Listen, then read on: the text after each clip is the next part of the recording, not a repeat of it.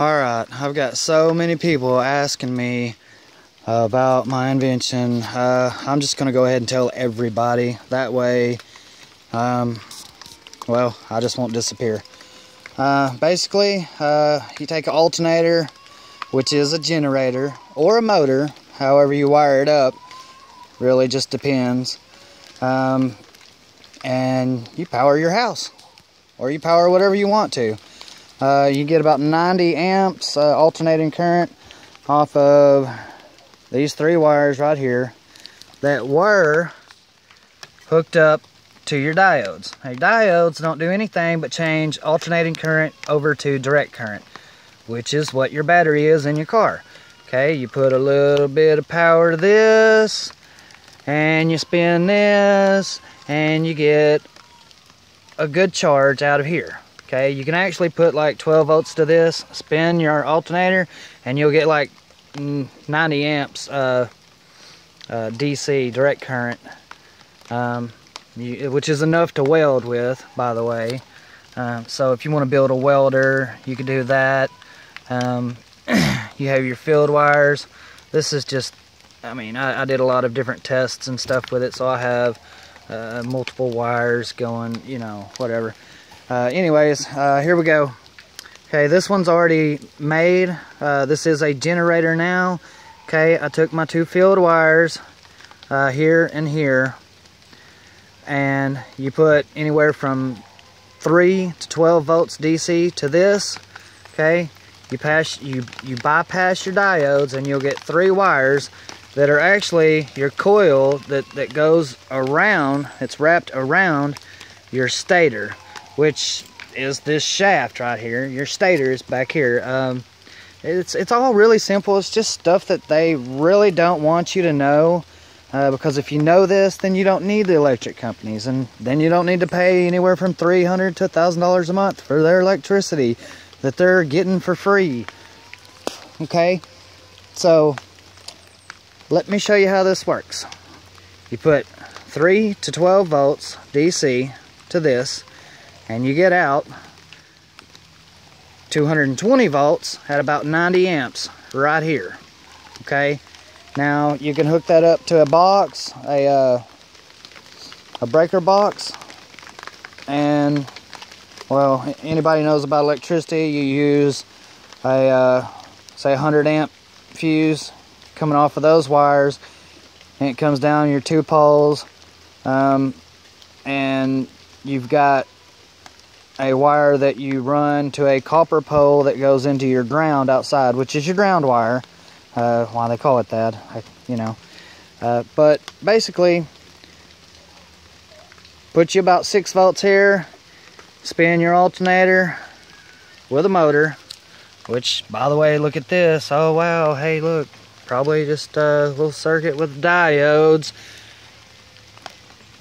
powering the stator so that you have a motor. But anyways, um, you can use an airplane controller or you can plug this into your wall and put direct current to this and then you will have a high powered motor that's not going to go out.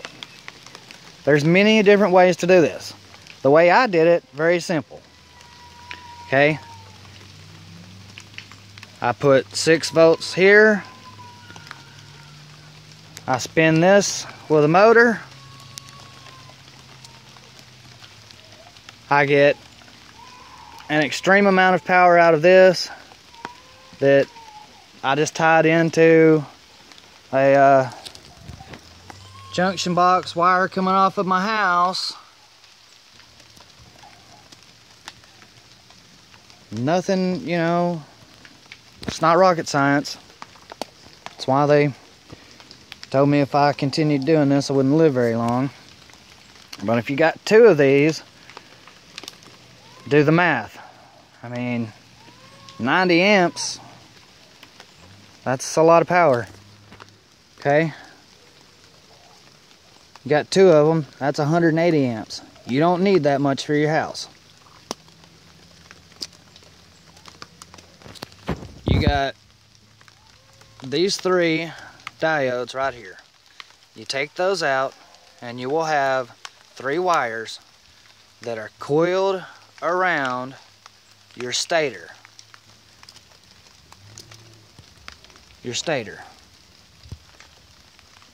You put DC power to these. You get AC power coming off of the coil. Very simple.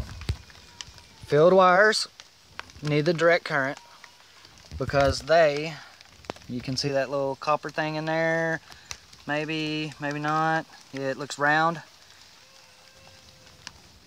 It has magnets on it that these wires are actually hooked to the magnet and they touch there so it's a brushless motor um, but used like this it's, uh, it's a high powered generator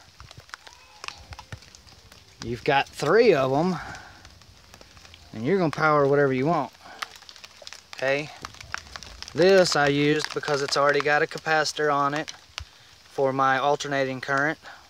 It's already got the it's it's set up already. It's already got diodes and everything in it. I don't have to do anything to it or or put you know direct current to my stator and then alternating current to my field wires to produce a high powered motor so I don't know. Any questions? I mean, I, yeah, like I said, I took this one apart because they said if I continued doing what I'm doing, then I wouldn't live very long. Well, guess what, buddy? I'm in the middle of the woods now. Come find me. Ain't gonna happen. Ain't gonna happen. How you like my hammock? I love it. All right, any guys out there have any questions, let me know.